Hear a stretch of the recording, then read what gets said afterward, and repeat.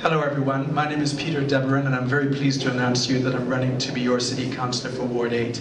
I'm a former policy advisor to the Ontario Government, a former UNICEF manager, a teacher and currently a vice principal with a large public school board. Why am I running? I'm running because like you, I see more and more traffic gridlock every day. I see developments in already built up areas. I see that our infrastructure and our roads are not keeping up, our services are not keeping up with the growth of our city. And more importantly, we're expecting another 1 million people here within the next 10 years. Therefore, I propose a new deal for the city of Markham. We can fix gridlock by improving our public transit and traffic demand management systems. We can keep Markham livable by responsible community planning and smart urban growth management.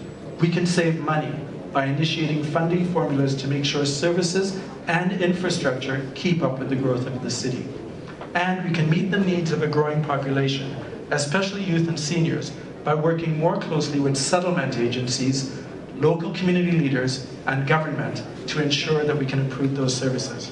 My needs, my family needs are not very different than yours. We're tired of being stuck in the traffic every day. We want good and safe schools for our kids, and we want to build on the wonderful quality of life that we have here.